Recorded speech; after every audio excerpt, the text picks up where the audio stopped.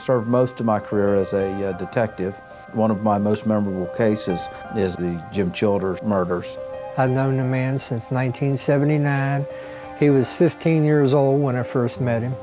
There isn't much about the man I couldn't tell you other than the latter part of his life where he had a, a mystery that I guess we need to solve. I received a letter from Childers. This guy's admitting to killing uh, Carrie Lynn Baker.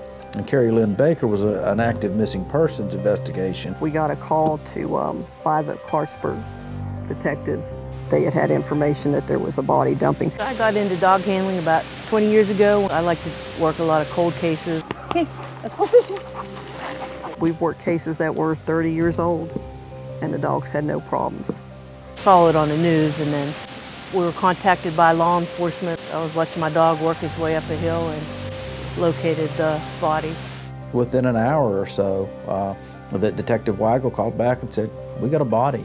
We pulled into a, a brushy area that was very close to the main road, and there she was. And he admits to an additional homicide and burying the body in Braxton County. As for, you know, the information that he gave us, you know, some was true uh, and some didn't appear to be true. That's normal characteristics of a serial killer. It's uh, a Jekyll and Hyde story. But the part about the, the three additional bodies being on the farm in Braxton County. Their farm was more or less sacred to them. Out of all the years that I've known them, I was never invited to go to the farm. All I know is it was a, a huge, huge place, and we only worked it the one day. Uh, we were expecting to get called again because of the size of the area, and we just never did. We didn't go deep into that farm at all. I'm sure that they did an adequate job down there uh, for normal circumstances, but I, I think we were dealing with abnormal circumstances here. The man said that he killed five people. I believe that he killed five people.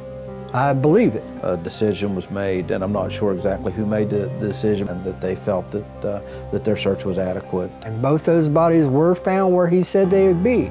He said that he killed three more, but he wasn't disclosing who they were or where they were. We don't know who they are.